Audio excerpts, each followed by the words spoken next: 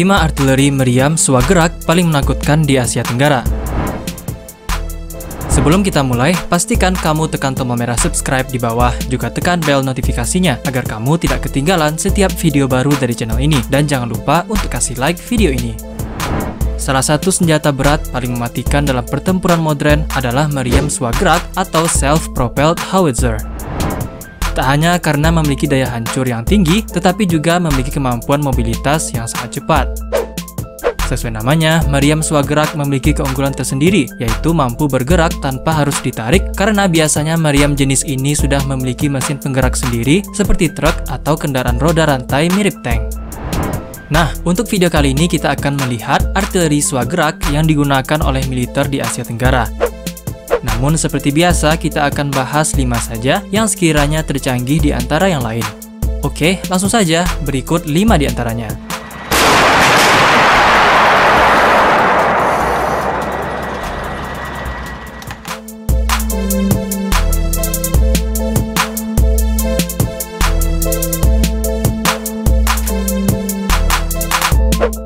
Lima, M109 Howitzer yang pertama ini merupakan meriam swagerak buatan Amerika Serikat yang pertama kali diperkenalkan pada awal tahun 1960-an. Berkaliber 155 mm menjadikan artileri M109 ini termasuk ke dalam artileri kelas berat. Memiliki dimensi panjang 9,1 meter, lebar 3,15 meter, dan tinggi 3,25 meter, M109 memiliki berat 27,5 ton. Nah, walaupun memiliki bobot yang lumayan berat, artileri ini masih mampu melaju dengan kecepatan hingga 56 km per jam. Seperti yang kamu lihat, artileri M109 ini digerakkan dengan platform tank. M109 ini memiliki senjata utama meriam M126 kaliber 155 mm dengan jarak tembak hingga 18 km, namun dapat ditingkatkan lagi jika menggunakan peluru roket hingga 30 km. Selain itu, M109 ini sudah digunakan di berbagai operasi, seperti di Perang Vietnam dan berbagai operasi di Timur Tengah. Penggunaan artileri ini pun sudah sangat global. Setidaknya ada 46 negara yang menggunakan M109 ini dalam banyak varian. Di kawasan Asia Tenggara, Thailand, dan Indonesia adalah pengguna setia dari artileri ini. Negara Thailand setidaknya memiliki 20 unit M109 versi A5, sedangkan Indonesia memiliki setidaknya 36 unit M109 versi A4BE yang dibeli Indonesia bekas dari Belgia pada tahun 2017. Nah, versi A4BE yang dimiliki TNI kita ini sudah dilengkapi dengan perlindungan dari senjata nuklir, biologi, dan kimia.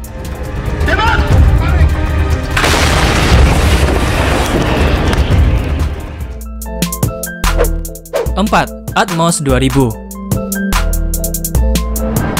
Selanjutnya ada Autonomous Drug Mounted Howitzer System atau Atmos 2000 yang juga berkaliber 155 mm.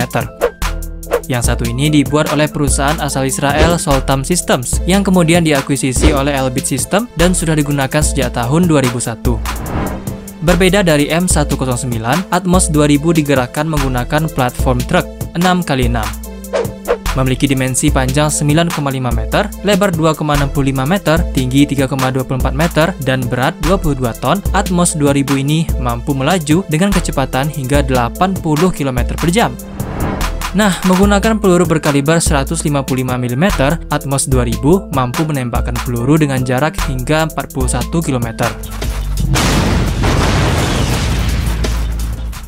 Selain itu, artileri ini sudah dilengkapi dengan navigasi dan kontrol yang sepenuhnya terkomputerisasi, sehingga Atmos 2000 memiliki akurasi yang sangat tinggi. Nah, setidaknya ada tujuh negara di dunia yang menggunakan sistem artileri ini. Salah satunya berasal dari Asia Tenggara, yaitu Thailand. Royal Thai Army setidaknya memiliki 18 unit dari sistem Atmos 2000 ini. Nah, selain Thailand, Filipina akan menjadi pengguna kedua setelah Thailand setelah mereka memesan Atmos 2000 ini dan diperkirakan sampai pada tahun 2022.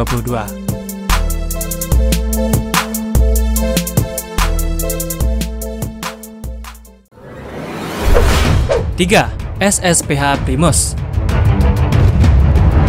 The Singapore Self-Propelled Howitzer 1 atau SSPH-1 Primus adalah meriam swagerak buatan Singapura.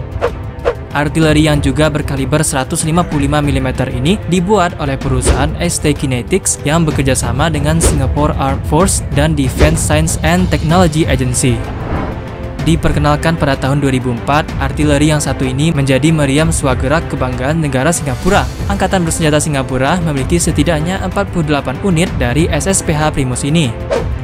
Walaupun sampai saat video ini dibuat, Singapura merupakan satu-satunya operator artileri ini, namun tak menutup kemungkinan akan menarik banyak pengguna lain, mengingat spek SSPH Primus ini yang tak kalah canggih. Memiliki dimensi panjang 10,21 meter, lebar 3 meter, tinggi 3,28 meter, dan bobot 28 ton, artileri ini masih mampu melaju dengan kecepatan hingga 50 km per jam. Sama seperti M109, SSPH Primus juga digerakkan dengan platform tank dengan jumlah roda masing-masing sisi sebanyak 7 buah.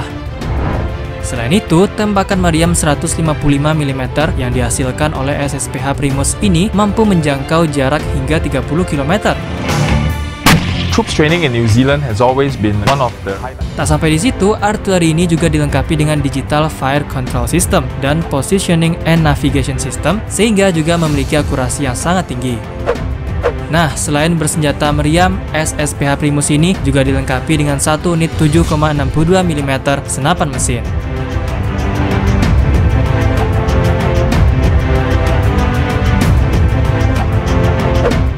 Dua, Nora B52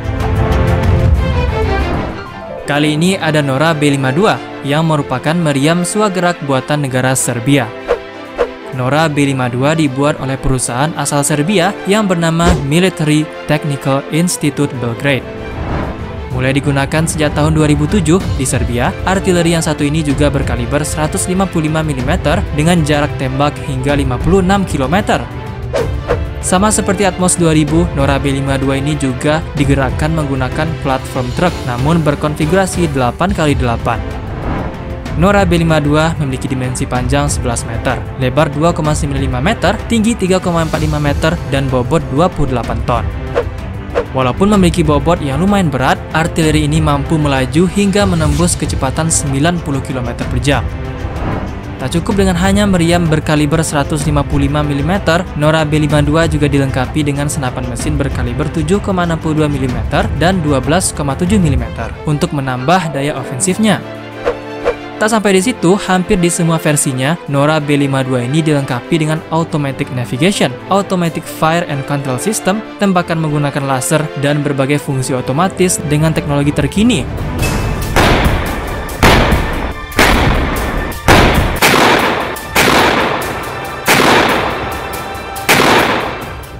Nah, mengingat speknya yang lumayan gahar, tadi sangka artileri ini baru memiliki 5 pengguna di seluruh dunia, yaitu Serbia, Bangladesh, Cyprus, Kenya, dan satu-satunya negara di Asia Tenggara yaitu Myanmar, yang setidaknya memiliki 36 unit dari Nora B52 ini dan semuanya aktif.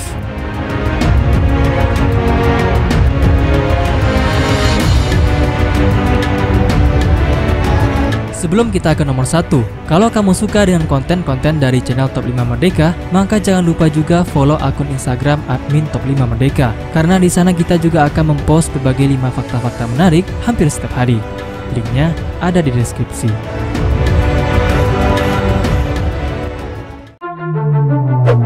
Satu, Nexter Caesar.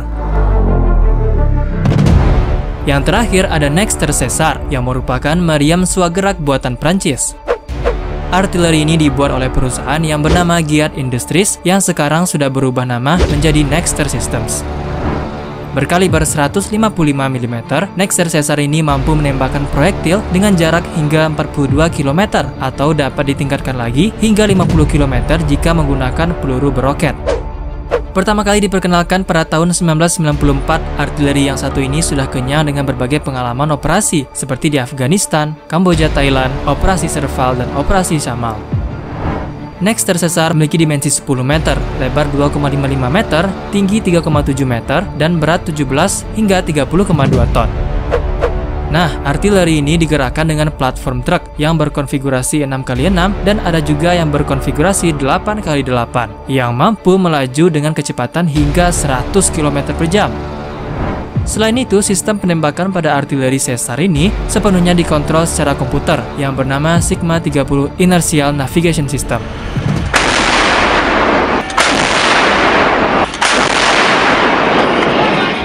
Nah, artileri Caesar ini sudah digunakan oleh enam negara di dunia, seperti Prancis, Lebanon, Saudi Arabia, Denmark, dan dua negara yang berasal dari Asia Tenggara, yaitu Thailand dan Indonesia. Thailand memiliki 6 unit Nexter Caesar yang dibeli pada tahun 2006. Sedangkan Indonesia pertama kali membeli artileri ini pada tahun 2012 sebanyak 37 unit dan kemudian menambah lagi pada tahun 2017 sebanyak 18 unit. Sehingga saat ini TNI kita memiliki setidaknya 55 unit dari sistem Nexter Caesar ini.